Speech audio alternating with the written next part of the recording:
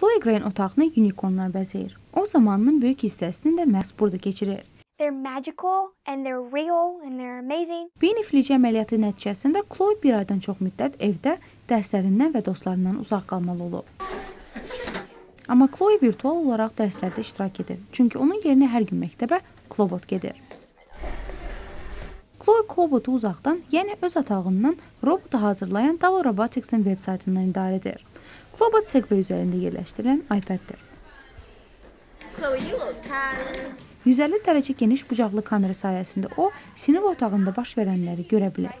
Chloe müəllimini də işləyir. What's the first thing that we do? Raise your hand and tell me. O sinif yoldaşları ilə birlikdə çalışır və qrup layihələrində də iştirak edir. It's okay. Um, it says you can write it like a letter. Klobot hətta suallara belə cavab verir. Chloe, what was something your group had? They bring like special tools for the data. Chloe əlini qaldıranda da müəllim bunu bilir. Belə ki, Chloe veb-saytdakı slayderi qaldıranda Klobot da qalxır. Müəllimə Mary Fursella deyir ki, Chloe hər zaman belə deyildi. Əvvəl-əvvəl o əlini qaldırmağa utanırdı, amma indi elə bir hiss yaranıb ki, sanki Chloe özü sinifdədir. Bye. Məktəbdən nahar fasiləsi zamanı Chloe kameranın bucağını dəyişir ki, yeri görə bilsin. Finally. Və ən yaxın rəfiqəsi ilə birlikdə kafeteriyaya gedir. Atası isə ona otağa yemək gətirir və Chloe dostları ilə eyni anda nahar edir.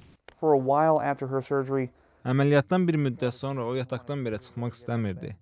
Bu robotla isə onun hər səhər tezdən oyanmağa motivasiyası olur. get up each day. Penny loafers.